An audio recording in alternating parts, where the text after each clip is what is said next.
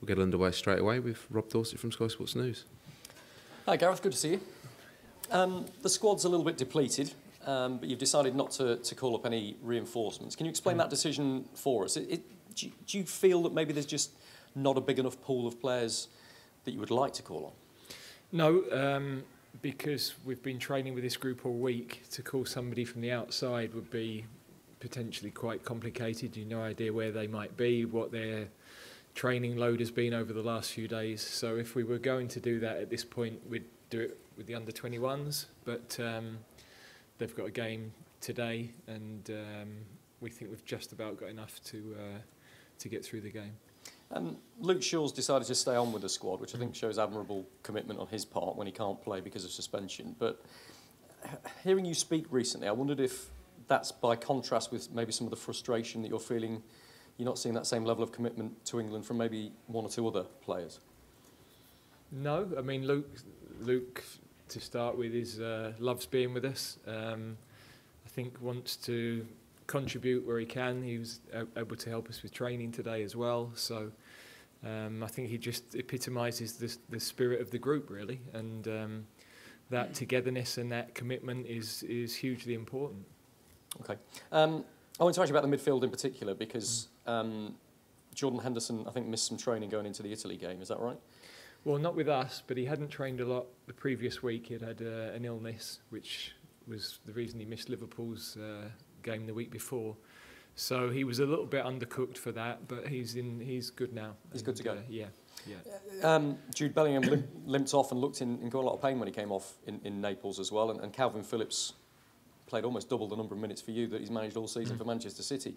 I just look across that whole of that midfield, and, and can you update us on all of them and, and whether you've got any concerns there? No, they're they're all good. Uh, I mean, clearly Kalvin, um, that's his first 90 for a, a little while. He, he, he had 90 at Bristol City in the Cup, but um, so we'll just have to assess freshness as much as anything. But that's the same with the whole group. It's it's that time of the year, and um, we've got to get the balance right of continuity, consistency, um, but also freshness. It's a crucial game in the in the qualifying group. Frankly, if we can um, follow on what we did the other night and, and win this one, um, then we're in a really good place.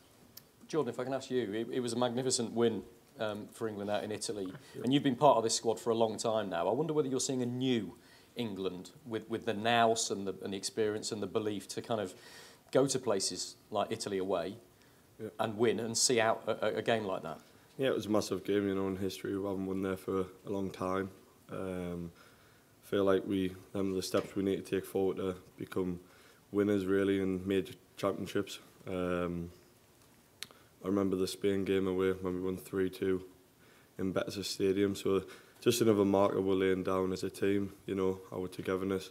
Our squad mentality, you know, to go forward and to be able to beat Italy away from home was a massive game for us. Uh, and Gareth, I'm, I'm sure you've got huge sympathy for your opponents um, that, you, that you're facing tomorrow and what they're, they're having to deal with outside of football. But because of all of that turmoil, does it make it a little bit difficult to predict exactly what side you're going to come up against? No, I would say it's uh, entirely predictable. They're very proud. We saw that with um, right at the beginning of the war when they went to Scotland for the playoffs and uh, and Wales. They're a very proud group of players. You can see that totally committed to uh, bringing um, enjoyment to their um, to their public and um, yeah we, we we of course have huge sympathy with with what's going on and support for what's going on but tomorrow's a game of football and um, we're we're fully focused on trying to win the game hi Gareth um, it's Ivan Toney's second time with the squad didn't make his debut last week how's he got on this week and is he likely to play tomorrow well he's been very good um, we really like him and uh, he's he's very much in our thoughts. You know the numbers we've got with us now, so um, it would be uh, yeah. Th there's always the dual objective. You know, um, there's of course a desire to to see players, but we're in a qualifying group. We're the priority is to win the game first and foremost. So whatever we decide is with a view to doing that. And the win in Italy was your 50th as England manager, only the third play, uh, third manager to do that. How do you look back at your time as manager, and what does the record mean to you?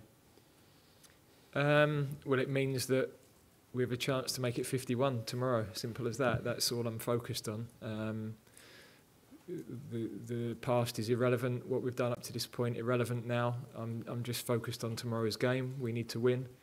Um, we need to be on six points when we leave Wembley tomorrow. And um, if we're going to be considered a really top team, then we have to back up a result and performance, um, different elements of performance that we showed the other night, and we have to do that tomorrow. You've had time to look back at the game in Italy now. Why do you think the team got into such difficulty in the in the second half? because we kept giving the ball away. As- simple as that, you know. Um, if uh, if you if you don't keep possession of the ball, then you're going to have to defend, and uh, we did that at the beginning of both halves actually. So in the first half, we recovered that. We showed really good composure, and we had control of the game as, as well as we've played with the ball against the top team. I think. Um, in the second half, the errors gave them a bit of enthusiasm. Of course, they were 2 0 down anyway, so they had to go for it. They were a bit more aggressive in, in their pressure. Um, and then when you concede, if, if, if the stadium changes, the emotion changes, and uh, you're, you're in a difficult place. So, what pleased me was the resilience we showed. The, there's different qualities needed to win football matches, and you've got to show all of those things. So, um, if we could put both sides of the game together, um, then that would be the ideal tomorrow. Thank you. And one to Jordan, please. Uh, your teammate Vitaliy Mykolenko is in the Ukraine squad, and as Gareth touched on, there's a lot going on in Ukraine off the pitch at the moment. Have you spoken to him about the fixture tomorrow, and what's he been like during this time? No, yeah, I haven't supported him, you know. Um, but since he's come in, he's been brilliant. Gone through a tough time at home, you know, for the nation. But he's a great lad, great to work with, down to earth, gets on for his job, and he's a top player. Um, but they've all got good players in that squad, and we've got to be wary of them. But a game we want to win. Thanks, Alex. James Ollie.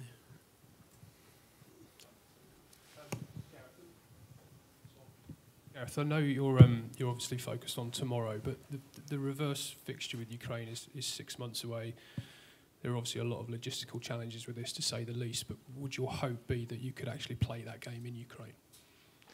Uh, I've not even thought about that. Um, I'm only thinking about tomorrow at this moment. Um, other people will have those discussions, and um, yeah, it, it, it's um, it, it's we've got several matches before we get to that point. From my point of view. Okay, thanks, James. Do we have any other questions in this section? No. Oh, Last one from Rob Dawson. Uh, Jordan, can I just ask you one? Is an elephant in the room, really, with what's happening back at your club. It's happened while you've been away with England. Um, how worried are you by the fact that Everton have been told that they've been charged by the Premier League for alleged breaches of financial rules? Yeah, obviously seeing it on Sky Sports, and I believe Everton's put a statement out there, and that's all I can really say. Really, my my job's playing football and keeping the ball out the back of the net, really. So, uh, yeah, I've seen it, but I can't see any more. Thought you might say that. Cheers. Yeah, to be fair, it's a good plug for Sky though, Pick as Yeah, well. thank you. we'll, we'll run that. Thank you. Yeah, that's straight on. Thanks, everybody. Um, we'll conclude it there. Thank you.